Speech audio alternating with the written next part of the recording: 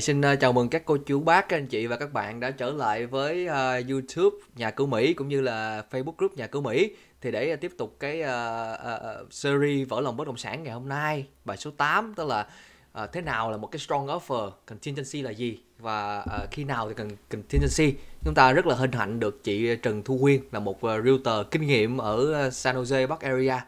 Uh, xin mời chị có lời chào đến người xem. Hey, xin chào tất cả mọi người ạ, xin chào anh chị em trong gia đình nhà cửa Mỹ. À, em tên là Quyên thì um, em uh, thường thường mọi người em gọi là Ali Quyên Trần á. Uh, hiện nay thì em làm realtor ở khu vực uh, uh, San Jose, uh, khu vực South Bay, uh, một số thành phố khác Sunnyvale, Mountain View, Cupertino nên là em cũng um, hiểu rõ cái thị trường ở cái khu vực này ấy.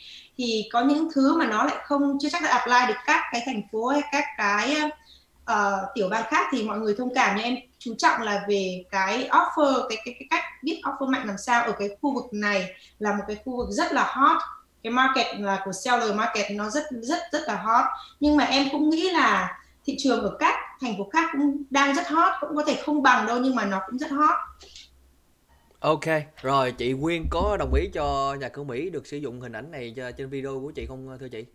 Dạ. Rồi, rồi, bây giờ không đợi ờ, các cô chú bác anh chị đợi lâu hơn nha, mình vào phần câu hỏi. Hôm nay mình sẽ có 16 câu. Rồi, câu thứ nhất, agent có vai trò gì khi giúp người mua làm offer? Thì um, agent là một cái người rất là quan trọng trong cái việc giúp mà các uh, anh chị em được mọi người uh, gọi là buyer mua nhà để mà viết offer thì họ là cái người mà sẽ giúp mình định giá được cái giá cái căn nhà mà mình đang chuẩn bị mua là nó cỡ khoảng bao nhiêu tiền trên cái giá market trên cái giá thị trường nó là bao nhiêu tiền. Và dựa vào cái condition của căn nhà này họ có tính toán ra được là cái thế nào là giá fair thế nào là giá hơi cao thế nào là giá good deal. Họ tính toán cho mình biết để cho người cuối cùng là cái người buyer quyết định xem là họ sẽ mua giá như thế nào. À, nên cái vai trò nó rất là quan trọng. Hết câu một chưa chị? Ừ. Rồi bây giờ tiếp theo câu số 2 buyer có nên tin tưởng tuyệt đối vào agent hay không? Thực tự thực sự mà nói là tin tưởng tuyệt đối thì rất là khó. Rất là khó mình ờ, thật sự là có khi chồng vợ ngủ chung giường một chút tin tưởng. Tuyệt đối nữa là tin tưởng người agent vì nó cũng hơi khó. Nhưng mà thực là thực lòng mà nói nếu mà bạn muốn mua nhà thành công ấy thì bạn nên tin tưởng vào người agent của mình còn à, tuyệt đối hay là ít tuyệt đối hơn thì cũng tùy người ấy. Nhưng mà để kiếm được một cái người agent mà mình tin tưởng thì mình nên có những cái bước um, giống như tìm hiểu về họ ấy, trước khi mà mình quyết định là nhờ họ hay là mướn họ uh, giúp đỡ mình uh, trong cái việc tìm kiếm căn nhà hay là mua nhà thì mình thì chia sẻ những cái câu hỏi mà mình nên hỏi người agent như thế này này. Chỉ hỏi đúng ba câu thôi. Ba câu rất là đơn giản thì bạn sẽ kiếm được cái người agent này có phải là cái người agent dành cho mình hay không cái câu hỏi thứ nhất là à, hỏi cái người agent đó là bạn đã đại diện người bán mua được bao nhiêu căn nhà trong năm vừa rồi? Đó người mình là người người người mua nhà mà. Người mua nhà sau mình đại diện người mua nhà được bao nhiêu căn rồi? Uh, thì họ sẽ nói có thể nếu mình chỉ nói là đã bán được bao nhiêu căn năm vừa rồi họ sẽ ô tôi bán được 10 căn nhưng mà 9 căn đấy là listing còn chỉ có một căn là bán cho người buyer thôi. Thì mình phải hỏi cái người đó là năm vừa rồi cô đã giúp bao nhiêu người mua được nhà? Thì là mình sẽ biết là cái kinh nghiệm họ ra sao ở cái khả năng họ ra sao bởi nhiều khi là có những agent họ nói ồ tôi 30 năm kinh nghiệm cơ. Nhưng mà thực ra hai năm vừa rồi chẳng bán cái gì cả. Đó 30 năm kinh nghiệm không có nghĩa là họ là active agent họ bán rất là nhiều và họ hiểu thị trường. Có những người mà họ, họ làm việc rất là lâu năm nhưng mà họ cũng ờ, slow rồi họ vài năm vừa rồi họ không có cập nhật đấy thì là họ không có cái sự nhanh nhẹn nhạy bén về thị trường. Ừ. đó nên là cái kinh nghiệm về số năm nó cũng quan trọng đấy nhưng mà nó không phải là tất cả. Đó, đó. câu hỏi thứ hai mà mình nên hỏi người agent của mình là bạn có phải là người full time agent không? Bởi vì có rất là nhiều thời gian mình trong gia đình mình thấy có ai cũng quen người agent làm agent hết. Từ ngày xưa agent là một cái thứ rất là dễ xin được xin được kiếm được cái bằng. Bây giờ nó khó hơn rất là nhiều nhưng ngày xưa ấy thì trong họ hàng gia đình mình là ai cũng có người quen làm hết. Nhưng mà thực ra cái người là full time ấy là tâm huyết là làm sống bằng cái nghề này ấy, nó không nhiều. Giống như là Santa Clara County của mình hiện nay có khoảng 6.000 agent. Là active là có cái cái bằng là có có cái active là mình phải mua membership này kia đó chứ không tính những người chỉ có license không đâu đó. Nhưng mà chỉ có chưa đến 2.000 người close được deal. Nên là cái số lượng của nó không không có nhiều active full time mà làm toàn tâm toàn tiết mà họ sống bằng cái nghề này ấy thì là không, nhiều như mình nghĩ nha. Nhưng mình hỏi họ là có là full time không để kiếm được cái người đúng. Bởi vì nhiều khi người ta làm part time là người ta mình lúc mình cần xem nhà họ lại bận họ lại bận uh, công việc này công việc kia họ không có thể dành hoàn toàn tâm huyết để mà đưa mình đi xem nhà hoặc là đưa mình nói chung vì nhà trên market hiện nay rất hot nhiều khi căn nhà chỉ list 3 ngày hoặc hai ngày họ đã bán xong rồi đợi cái người agent kia available để show được căn nhà cho mình bán xong rồi. Đó đây là một trong câu hỏi quan trọng và câu hỏi quan trọng. Quyết định là kế hoạch của anh chị để kiếm nhà cho tôi là như thế nào? Đó agent nào họ cũng có cái chiến lược cho mỗi khách hàng của mình cả. Tùy vào khách hàng nhu cầu khách hàng tùy vào cái điều kiện của khách hàng uh, expectation khách hàng là gì thì cái agent riêng của họ sẽ làm giống như người thưởng cho họ một cái plan riêng không phải là ai cũng giống ai không phải khách hàng nào giống khách hàng nào mà khi họ hiểu khách hàng mình muốn gì rồi họ đã có một plan để kiếm được cái nhà như thế rồi thì là cái người đấy sẽ là người phù hợp với mình. Đó thì đấy là ba cái câu hỏi quan trọng mà mình nghĩ là uh, một cái người buyer nên hỏi agent. Ha uh, yeah, còn đầu tiên tin được tuyệt đối an toàn thì uh, uh, rất là khó nói. Wow, nếu mà based trên những câu hỏi này à, nếu mà client nào cũng hỏi thì mấy bạn mới ra trường giống như em cũng hơi căng à chị Quyên ha. Hơi căng. có một mình giải quyết cho mấy bạn đó là mình teamwork lại với một agent khác. Đó, à. giống như thắng chẳng hạn, thắng thắng làm việc chung với anh Dan một anh người rất là giỏi đúng không? Hai ừ. người đều giỏi hai cái cách khác nhau, hai người support lẫn nhau.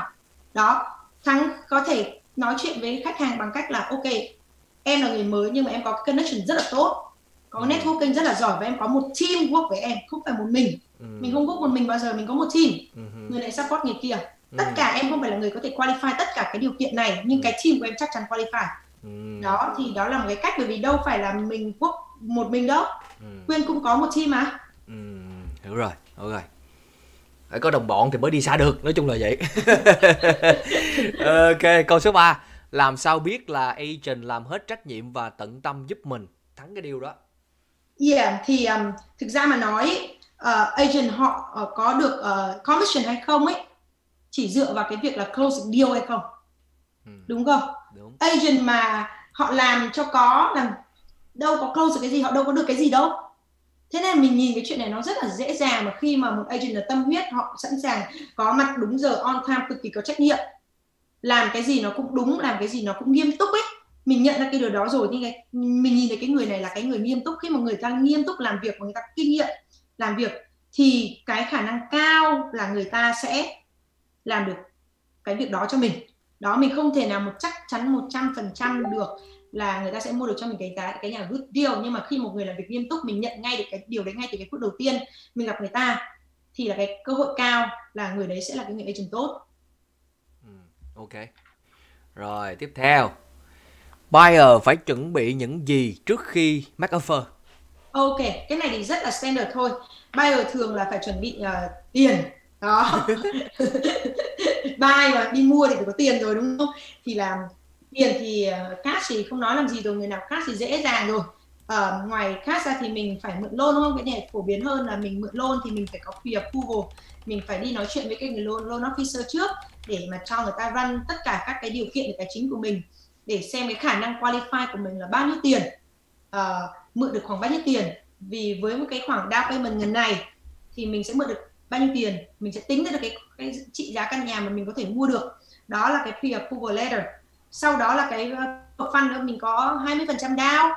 Uh, thì mình sẽ có khoản tiền sẵn ở trong ngân hàng kể cả chưa có trong stock cũng được trong cái gì liquidate ra được tiền thì đều được xài hết để mà mua được nhà ấy. Tuy nhiên cái này mới chỉ là cái uh, giống như cái basic thôi. Khi mà mình uh, đi offer nhà ấy quyên rất là quan tâm đến cái việc là khách hàng có nhiều tiền hơn cái cái tiền down payment của họ. Tại vì bây giờ thị trường nhà rất là hot uh, rất là nhiều căn nhà mình mua cái giá appraisal nó không tới được cái giá mình mua. Mình luôn luôn phải chuẩn bị backup. Đó. Listing agent luôn hỏi mình là ok bây giờ nhà này mày đã remove on the rồi thì với mình phải có cái tiền backup để cover cho cái khoản chênh lệch giữa appraisal và cái giá mua. Thế nên là mình phải nói với khách hàng trước cái, cái tâm lý cái chuyện này là cái khả năng mà mình phải chuẩn bị thêm tiền mặt á nó có thể xảy ra. Đó có thể xảy ra thế nên là họ phải nên chuẩn bị nhiều hơn cái kế hoạch của họ một chút hoặc là phải làm sao cho cái down payment của họ nhỏ lại. Cái loan amount có thể tăng lên họ có thể nói chung là có room để adjust cái đó. Chứ không thể là fix là tôi chỉ có thể ngần này và mua nhà như vậy nhưng mà tôi muốn cái nhà đúng bằng cái giá trị tôi có thể mua được thì nó rất là khó. Đó nói tóm lại là pre-approval và proof of fund và thêm extra nữa. Okay. cho cái khoản là dao động. Uh, rồi. Cái đó là về phản vật chất. Còn bây giờ nè agent phải chuẩn bị tâm lý như thế nào cho buyer trong thị trường seller market? Yeah. tâm lý thì là uh, phải giải thích cho cho cái người buyer hiểu cái thị trường của mình ra sao ấy. Um, có những cái câu chuyện vui là như thế này là một cái người agent mà experience á ừ. họ thường không để cho buyer thắng ngay cái ván đầu tiên đâu. Có nghĩa là sao? Cái offer đầu tiên của người buyer họ không làm cho họ thắng mọi đôi khi là họ nghĩ là họ có thể thắng cái offer đó nhưng họ không muốn làm việc đó. Lý do là sao chị lý do là khi mà buyer họ thắng một cách dễ dàng ừ. họ nghĩ là cái việc mua nhà là cái việc vô cùng đơn giản họ không appreciate cái điều đó. Ừ. họ không họ dễ dàng thay đổi ý kiến. Họ có thể đòi back out họ không chịu deposit tiền. Ừ. họ không appreciate họ sẽ gây khó khăn trong cái quá trình mua nhà vì họ nghĩ là ôi căn nhà này mua dễ ẹt à. Không mua căn này ta mua căn khác cũng được cái tâm lý của cái người buyer là như vậy. Thế nên là uh, mình không muốn ờ, đưa khách hàng của mình vào cái chuyện như vậy á. Mình phải ngồi xuống nói chuyện với họ giải thích cho rất là kỹ càng. Cái thị trường nó sẽ rất hot. Để mà mua một căn nhà bây giờ nó khó khăn như thế nào một căn nhà có có tận có những căn bốn năm mươi sáu mươi chục cái offer ok? Không phải là năm mười cái mà bốn năm mươi sáu mươi quên là thấy rồi offer cho một căn nhà. Nó rất là khó và nhất là những cái căn nhà mà đẹp á những căn nhà mà hot trên thị trường khu đẹp trường học tốt này thì nó rất là khó khăn. Ừ. uh, thế nên là nếu mà mình cứ cố gắng hết sức sực sừng sưng để mà giành năng nặc được cái căn nhà đầu tiên cho cái người xem nhà đầu tiên ấy khả năng cao họ không appreciate điều đó. Thế nên chuẩn bị tâm lý bằng cách là giải thích thật kỹ market làm các cái uh, com cho họ biết là là cái giá nhà nó như thế nào trong thời kỳ gần đây á. Nhìn cho họ biết là cái căn nhà khu này nó mới bán bao nhiêu tiền mà nó list chỉ có gần này thôi mà nó bán bao nhiêu tiền? Giá list nó không có quan trọng tí nào cả. Giá list để cho mình hiểu là cái người listing chỉ muốn nó cỡ như vậy như vậy. Nhưng không có nghĩa đó là cái giá mà mình sẽ mua. Mình phải làm ra được cái bản com cho cái giá market cái giá thị trường của căn nhà đó ừ. chứ không phải là cái giá list. Đó mình phải mang giấy tờ xuống ngồi xuống máy bay giải thích kỹ cho họ là nó sẽ xảy ra chuyện xảy ra nó sẽ như thế nào á nó không phải là list như vậy mua vậy đâu. Cái đó cũng em thấy cũng lạ ha nếu mà em lại trình này thì em chỉ muốn bán cho lẹ rồi em lấy commission chứ còn tại sao phải làm cho khó khăn rồi bán căn hai con ba thấy em thấy nó ngộ ngộ ha. Mới không mới tại vì là tại vì mình đã có rất là nhiều kinh nghiệm với first time home buyer hoặc vừa mới mua được căn nhà mình cố gắng hết sức hết lực hết connection đủ các người mà mình quen biết á ừ. dành được cái căn nhà cho họ và họ back out. Ngay cái ngày thứ hai vì họ nghĩ là ôi mua căn nhà này dễ quá trời là dễ. Đó ừ. quyên đã từng làm điên điên đảo như vậy là cố gắng một cái căn nhà tuyệt đẹp hồi đấy mua có chín trăm rưỡi thôi mà cái nhà đấy có thể à, market price có thể lên đến khoảng chín trăm tám đến một triệu á. Đất rất là rộng khu rất là tốt nhưng mà cái người buyer đó họ đã không appreciate chuyện đó. Với cái người bán nhà là cái người hàng xóm nhà quyên. Ừ. cách nhà quyên có một block với quyên rất biết cái chủ nhà đó quyên tới tận nơi gõ cửa và mua được căn nhà cho họ họ đã cái người buyer quyên background quyên rất là mất mặt. Khi mà mình đã làm cái chuyện rất là personal như vậy á thì ờ, và trong đó 4 năm sau họ mua được căn nhà khác mắc hơn rất là nhiều. Họ rất là đau đớn họ nói với quyên là đã hối hận rất nhiều khi đã back out căn đầu tiên. À, bởi vì họ nghĩ là mua nhà nó dễ quá. Họ nghĩ là ôi vừa mới đi xem nhà cái mua được liền. Đó nên là họ nghĩ là chắc là họ chưa nghĩ thấu đáo họ chưa nghĩ chín chắn. Họ đã quyết định hơi vội. Ừ. đó nên cái chuyện đấy xảy ra là chuyện rất là bình thường. Nên là mình phải giải thích ừ. kỹ cho cái người bay hiểu là thị trường nó như thế nào á để cái tâm lý của họ được chuẩn bị uh, kỹ lưỡng hơn. Ok rồi mình bước qua tiếp theo. Có trường hợp vào những ngôi nhà có nội thất đẹp người mua muốn gom luôn tất cả những nội thất đó trong offer mua nhà thì chị Quyên nghĩ sao? Thực ra cái này thì cũng mình đã từng gặp rồi nhưng mà mình khuyên là không nên như vậy trong viết một cái offer. Thứ nhất là uh, về mặt làm uh, loan ấy nó rất là khó. Cái người cái loan lender họ chỉ cho mình mượn tiền để mà mua nhà thôi. Họ không cho mình mượn tiền để mà mua furniture cả. Đó. Nên cái chuyện này sẽ gặp rắc rối trong vấn đề làm loan. Đó. Và khi mà làm trên giấy tờ trên contract tất tần tật như vậy nó rất là lằng nhằng nó rất là khó khăn ấy. Và quan trọng nữa là cái người real estate agent họ đại diện cho bên bán hay bên mua để mua bán căn real estate căn nhà bất động sản không phải mua bán động sản không phải mua bán personal property. Đúng không? Ừ. thì đây không phải là việc của họ. Họ không có liability trong cái công cái việc này cả. Đấy họ không có chịu trách nhiệm về cái việc mua bán này cả. Đây là không phải là real estate mà mình chuyên là bất động sản mà mình đâu phải là người bán uh, furniture đâu. Ừ. đúng không? Thế là cái contract nào cho nó phù hợp với cái việc này nó không không không hợp lý ừ. cho cái công việc đó và họ không thể bảo vệ được quyền lợi uh, của những cái hợp đồng như vậy á thế nên là cái cách tốt nhất là mình sẵn sàng giúp khách của mình không có vấn đề gì cả. Negotiate mua này mua kia chỉ cho họ viết một cái uh, contract riêng á một cái hợp đồng bên ngoài riêng về mua uh, mua cái đồ đạc đó. Nhưng mà mình không có chịu trách nhiệm về tổn thất cũng như là về damage này kia bởi vì nếu mà nhà thì mình còn phải chịu trách nhiệm chứ mà đây là đồ đạc mà. Sau này có chuyện gì ờ, cãi nhau hai bên hay gì đó thì đâu có thể mang mình ra đứng ở giữa vì đồ đạc đâu có được bảo hiểm giống như là nhà đâu có mua bảo hiểm đồ đạc đâu thế nên là cái này rất là khó và mình sẵn sàng negotiate cho bên bay của mình hết cái người bay mua cái chuyện đấy không có vấn đề gì cả nhưng mà mình sẽ làm cái separate contract riêng ừ. về sau đó sau khi mình mình mua nhà rồi mình sẽ làm riêng cái hợp đồng mua bán cái việc này sau á để cho hai bên tự ký với nhau thôi yeah. đó thì cái ý của mình sẽ là như vậy á ok rồi Tiếp theo, có một số người bán sẽ có cảm tình với lá thư mà người mua trình bày hoàn cảnh và tình cảm của họ đối với ngôi nhà đang offer. Không biết là chị ờ, Quyên đã từng có kinh nghiệm giúp buyer trong việc gì chưa và chị nghĩ như thế nào? Yeah. Mình có rất là nhiều kinh nghiệm trong việc này. Mình đã từng có một người uh, buyer đã không muốn đi với mình chỉ vì là mình coi cái việc này nó không quá quan trọng. Tại vì họ nói là ồ em đọc ở trên YouTube có một người ở buyer mà viết một cái thư tình cảm quá đến người seller bán cho giá rẻ dưới 98 ngàn uh, mình không nghĩ nó tồn tại ở cái thời điểm này uh, cách đây um, khoảng hai ba tuần thôi rất là gần đây thôi. Có một cái căn nhà mình offer cho khách ở um, 91135 hay 911 chỗ Evergreen. Đó thì là căn nhà list khoảng một triệu bảy năm mươi. Chủ nhà ghi rõ ở trong listing nhá to đùng nhá no love letter. No love letter rất là to. Đỏ chót highlight. Và chủ nhà nói tôi không có thời gian ngồi đọc mấy cái thư này á. Đó họ chỉ quan tâm tiền và term thế thôi. Ừ. họ không cần biết bởi vì thực ra cái thư đó um, ai viết cũng được. Mỗi người có hoàn cảnh riêng ấy mình có thể viết nó hay như thắng cũng được ấy. Là không hay bằng nhưng mà đại lại là mình sẽ cần viết rất là touching rồi. Thế này kể lể. Nhưng mà cũng có người khác có viết cái hoàn cảnh khác thì sao? Cái chuyện này không liên quan đến việc cũng rất khó nhà. để xác định câu chuyện đó có thật hay không. Đúng rồi mà kể cả có thật thắng là người bán nhà thắng có khe không? Ừ. khi mà mình bán có muốn bán rẻ cho ông kia năm ngàn không? Well, cái này để em kể câu chuyện này đây là câu chuyện uh, bản thân em nha. Thì agent yeah. của em kể lại với em như vậy nhưng mà em không biết câu chuyện có thật hay không. Agent kể lại với em á là cái người offer kia offer cao hơn em và mua tiền mặt luôn. Nhưng bà chủ chọn em vì bà thấy là cái lúc em tới gia đình em đi ba má vợ gì tôi la bà nhớ đến cái lúc mấy chục năm trước lúc mà má của bà vô mua căn nhà này rồi xây lên một cái tổ ấm ở đó thì bà nói là ừ. ok tao có cảm tình với này tại tao thấy vậy. Thì đó là cái câu chuyện agent của em kể nhưng mà không biết thiệt hay không thôi á. Yeah. Thực ra là agent này có rất là nhiều câu chuyện để kể sau chuyện đó. Bởi vì thực ra mình không đi trực tiếp với cái người chủ nhà. Ừ. mình qua một người listing agent. Ừ. đúng không? Cái câu chuyện nó có thể bị méo mó qua vài người rồi. Ừ. uh, uh, nhưng mà quyên cũng có một cái kinh nghiệm uh, rất là hay là mua được căn nhà cho một cặp vợ chồng rất là giỏi ở Palo tôi mình không tiện nói tên người ta ấy. Ừ. hai người này đều rất là giỏi đều là những người mà gọi là genius có số có má. Ừ. Google tên cái ra ngay. Ừ, ừ. đó. Rất là có số có má làm trong ngành tech.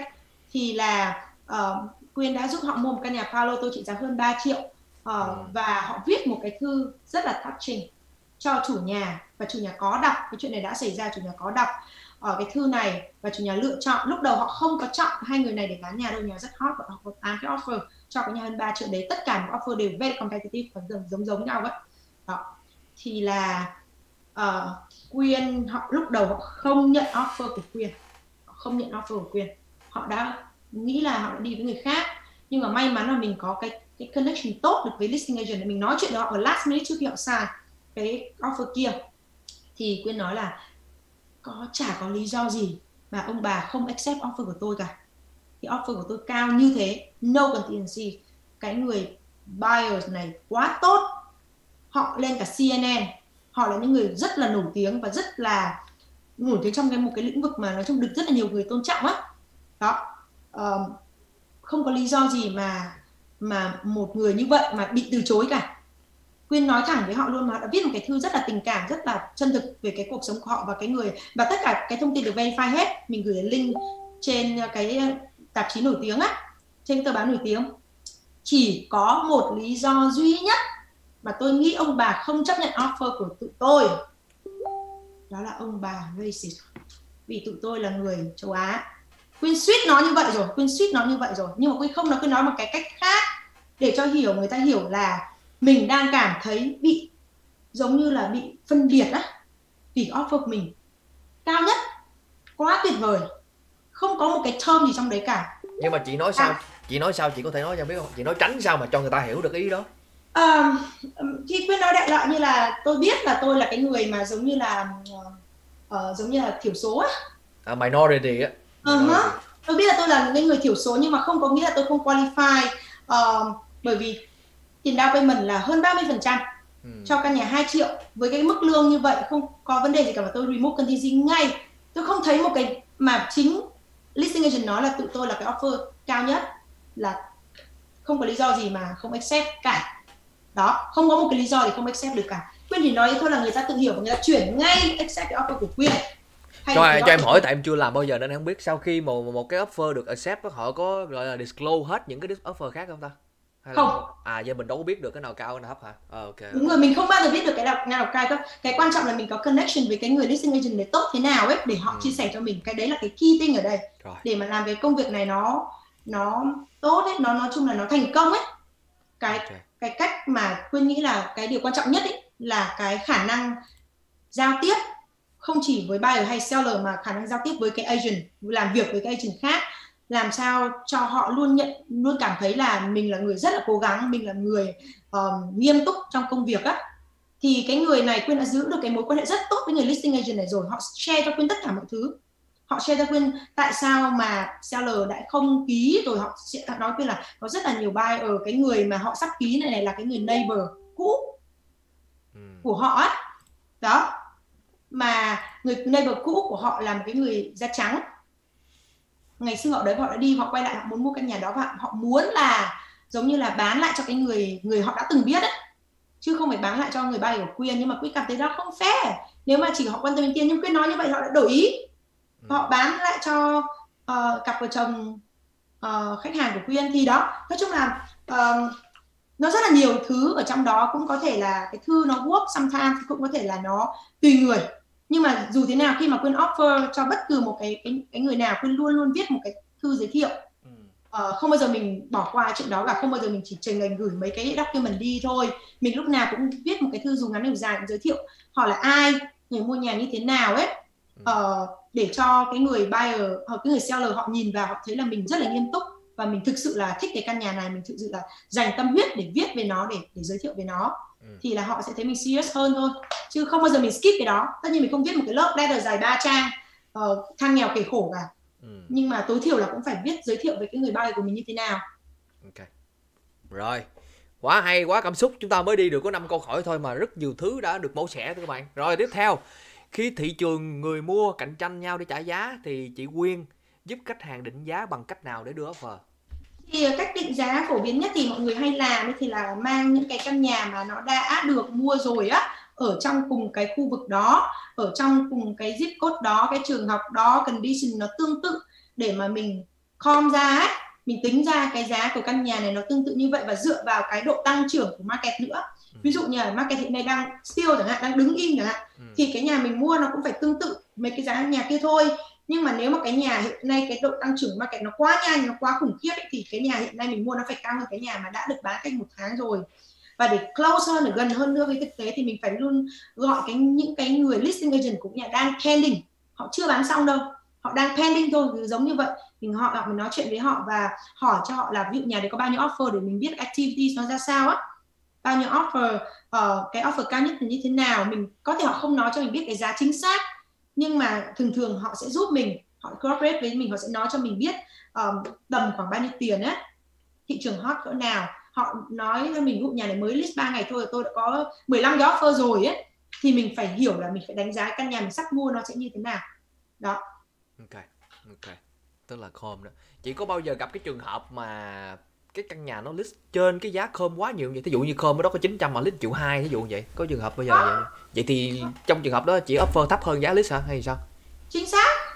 Mình offer đúng giá market thôi mình offer đúng cái giá mình com ra thôi. Mình không nhất thiết phải offer cao và mình viết luôn một cái thư cho thằng listing agent là tại sao mình offer như vậy. Ừ. chứ không chỉ mình không nhiều khi mà nó cảm thấy bị như kiểu là bị offensive là mình trả giá thấp quá hay gì đó ấy.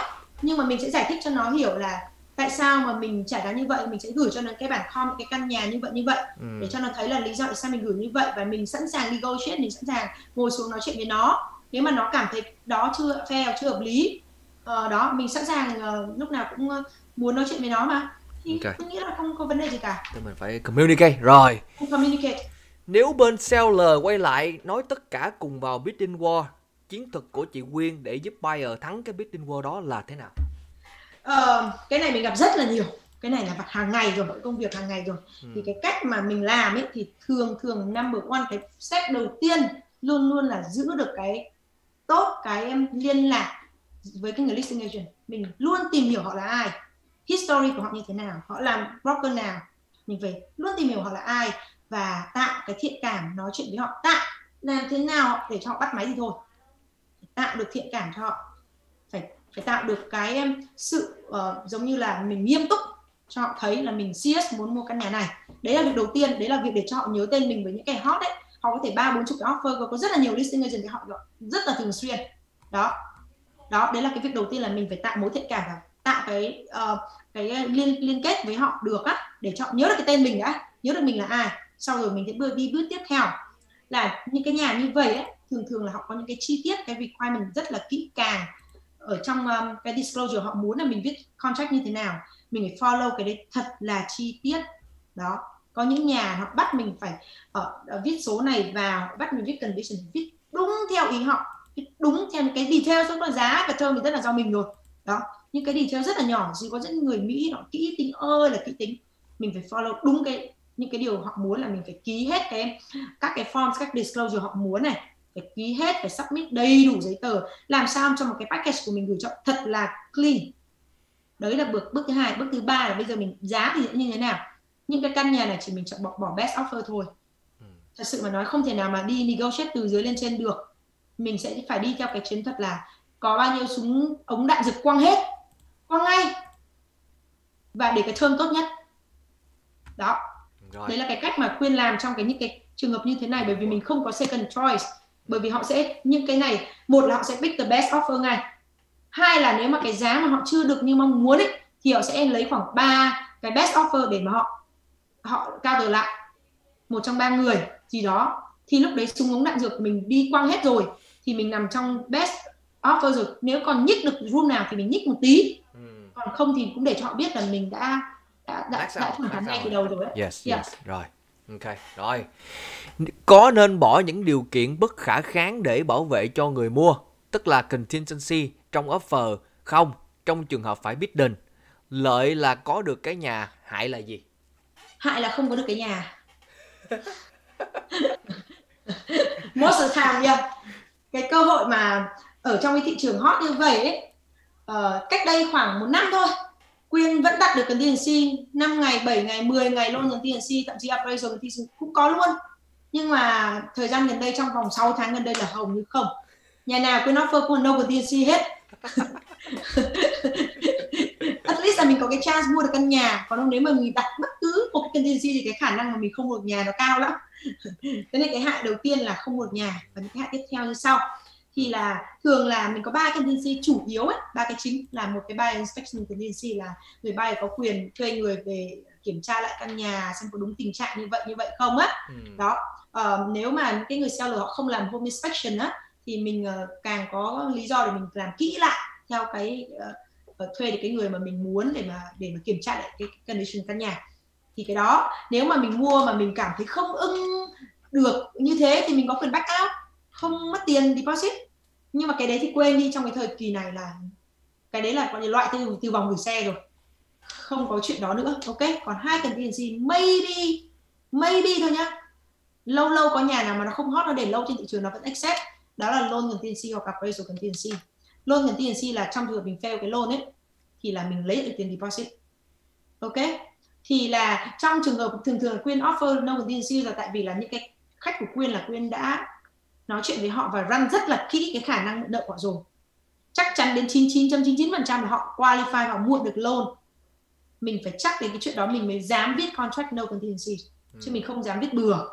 Đó mình phải ngồi xuống họ mình giải thích kỹ cho họ là đây cái chuyện này sẽ xảy ra anh chị có thể là mất deposit nếu mà mình không qualify loan. Nhưng mà em đã nói chuyện với loan officer rồi cái cái cái cái, cái percentage rất là nhỏ. Và nếu có chuyện gì xảy ra thì mình có cách để mình xoay được đó không mượn nợ loại này thì sẽ mượn nợ loại kia. Nếu không mượn nợ loại kia được thì sao? Sẽ có cô sai. Đó cho mình đã nghĩ đến backup plan plan A B C D E F rồi chứ không phải là chỉ có mỗi một cái con đường duy nhất. Thì cái loan contingency này mình vì múc được bởi vì mình đã có backup plan. Okay. còn cái tiếp theo là cái appraisal contingency là sao? Có nghĩa là khi mà mình vì move cái này ấy, thì là cái nhà mình được appraisal với cái giá thấp hơn cái giá mình mua. Mình vẫn phải mua với cái giá mình đã ký ở contract mình không được negotiate lại với giá với chủ nhà nữa hoặc là mình không được back out. Đó ví dụ nhà mình mua một triệu nhưng mà lúc mà người appraisal uh, người ta làm report ra chỉ có 980 thôi thì mình vẫn phải mua một triệu.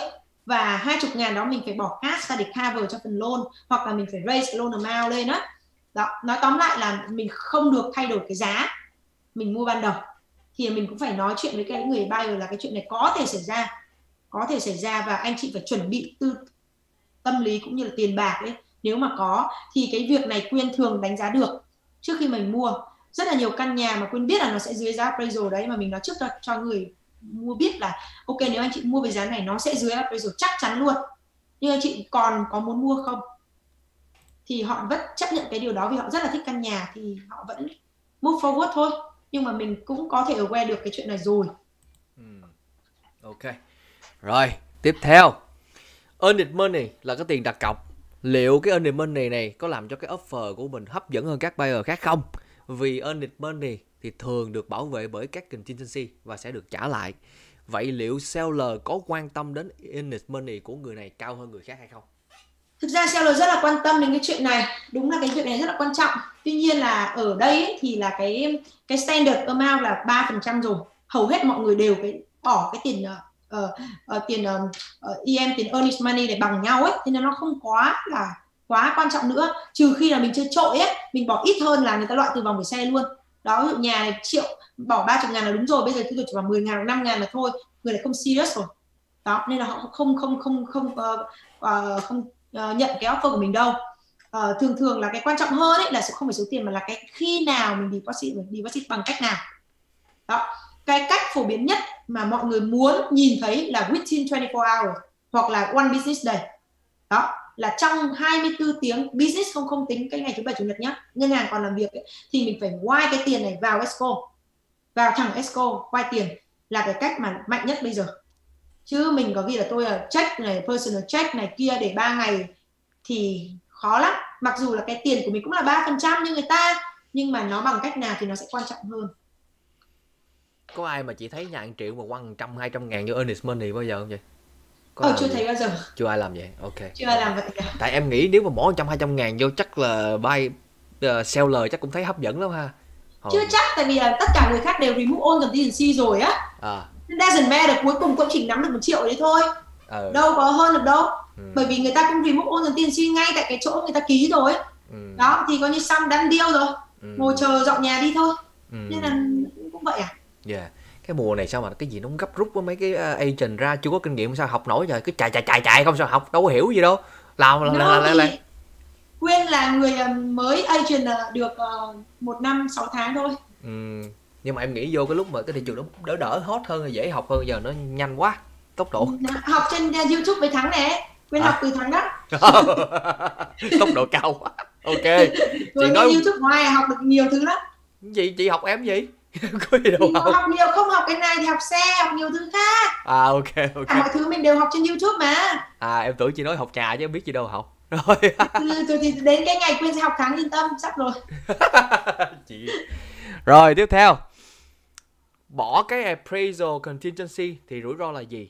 Biện pháp khắc phục và những gì cần chuẩn bị để đối phó. Hình như nãy chị có nói sơ sơ rồi đó. cái này mình cũng nói sơ rồi thì bỏ cái appraisal contingency thì rủi ro của nó là mình sẽ bị mua nhà cao hơn cái giá mà bị mua sorry cái giá appraisal nó nó thấp hơn cái giá mình mua. Đó mình phải rủi ro của nó là mình phải có tiền để mà back up cho cái việc này. Mà mình phải plan từ trước rồi mình phải aware được cái việc này. Cái người agent của mình phải nói cho mình biết là cái khả năng mà mình bị appraisal thấp hơn là có thể xảy ra và mình phải có cái tiền để dành cho cái việc này.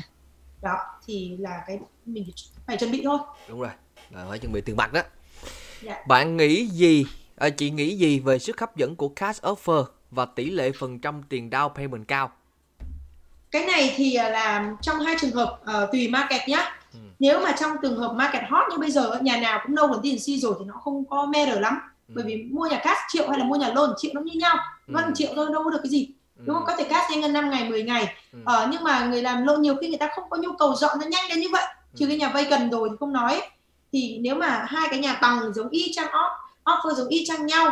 Mà cái người này muốn bán sớm thì maybe cái cash offer của nó better. Y chang nhá mình không nói là cao hơn. Và cash thấp hơn đâu nhá y chang thì maybe. Còn uh, trong trường hợp mà uh, thì đó thì nó bởi vì bây giờ hầu như mọi người offer no gì hết rồi á.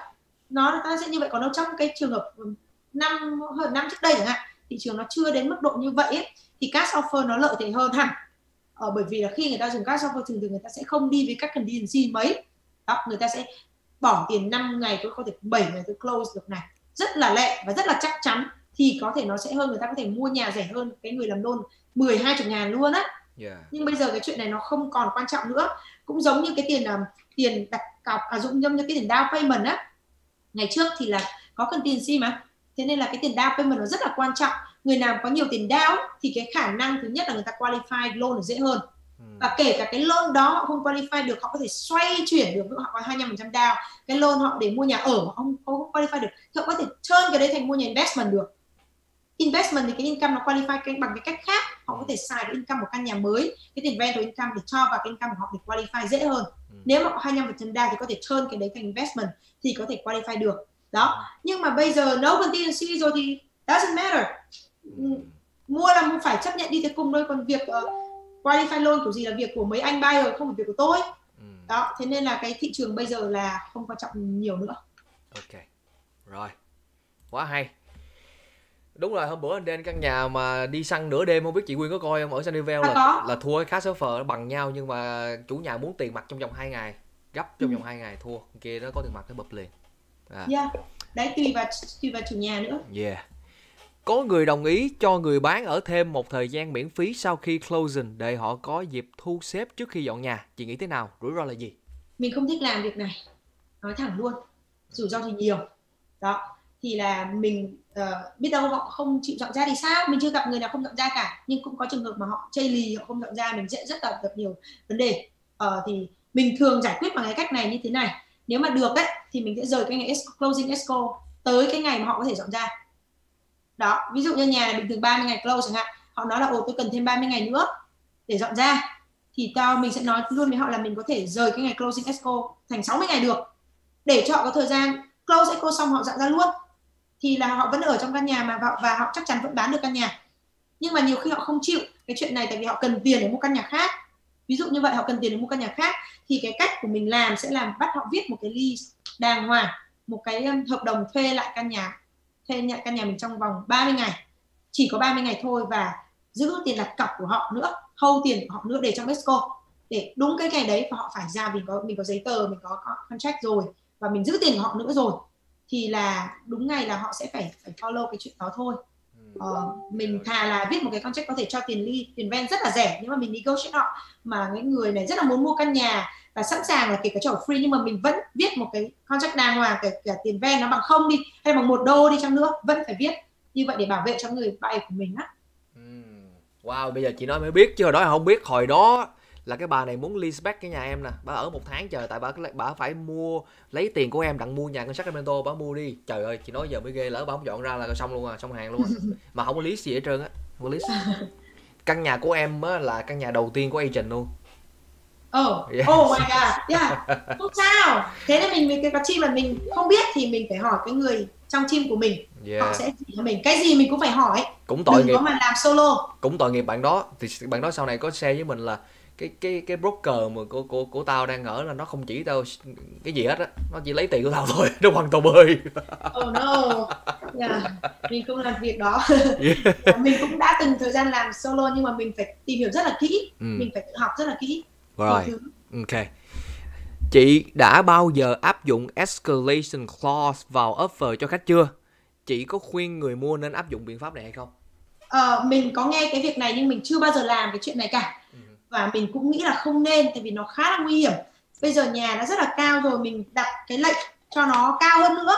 Mình meet tất cả cái giá cao nhất thêm tiền vào cái giá cao nhất. Cái định nghĩa của cái này có nghĩa là khi mà ví dụ một cái nhà offer một triệu cái thời điểm nó cao nhất đi mình sẵn sàng trả thêm một số tiền như mình quy định một năm ngàn lại. Ở cái giá cao nhất cứ ừ. meet cái giá cao nhất biết đến bao giờ. Và bây giờ thực ra có rất nhiều agent họ love á. Ừ. họ chưa chắc là cái giá cái condition đó như thế nào? Có thể cái condition rất nhà giá nhà rất là cao nhưng cái term nào là đặt một đống contingencies vào? Này kia ừ. đâu có phải giống được cái term của mình đâu đúng không? Nhưng cái giá của mình cao hơn. Uh, nên là mình không bao giờ khuyên khách nên làm cái chuyện này cả. Đôi khi có rất là nhiều nhà giá cao mình là listing agent có người offer cao hơn. Nhưng mà mình cũng khuyên chủ nhà là không lấy cái offer đó lấy cái offer thấp hơn vì cái condition của họ tốt hơn cái term của họ tốt hơn chưa chắc giá cao hơn đã thắng. Thế nên chưa chắc cáo cao là phải là tốt hơn đúng không? Thì tại sao mình cứ phải đi rình dập cái giá của thằng cao nhất để mình phải bet cao cái thằng đó để làm cái gì? Trong khi đó mình có thể có cách khác để mà mua được cái căn nhà đó với cái giá hợp lý hơn. Ok rồi. Chị có thể định nghĩa cái escalation clause cho mọi người hiểu được không chị? Cái đó là một cái dạng uh, contract mà khi mà mình mua nhà tăng trưởng theo cái mình dịch dịch ra hơi buồn cười. Là ví dụ đơn giản là uh, mình sẽ luôn luôn tăng số tiền theo cái giá cái cái offer cao nhất. Ví dụ cái nhà này có 5 cái offer cái offer cao nhất là một triệu thì mình viết trong hợp đồng là tôi đồng ý trả cái tiền thêm 5 ngàn cao hơn cái giá offer cao nhất. Thì là mình sẽ luôn luôn bị mua thêm 5 ngàn cái giá cao nhất nữa. Với một triệu trăm mình phải mua để mua căn nhà này mình phải mua với giá một triệu không trăm năm à, một triệu không trăm lẻ năm ngàn. Đó. vậy là cái người bán sẽ có nhiệm vụ disclose cho mình biết cái offer cao nhất đúng rồi. À ok. Nhưng mà chưa chắc cái term của họ đã giống mình. Ừ. ngoài giá ra nó còn là term nữa. Ừ. đó cái term của người kia biết đâu lại cần TNC 21 ngày thì sao?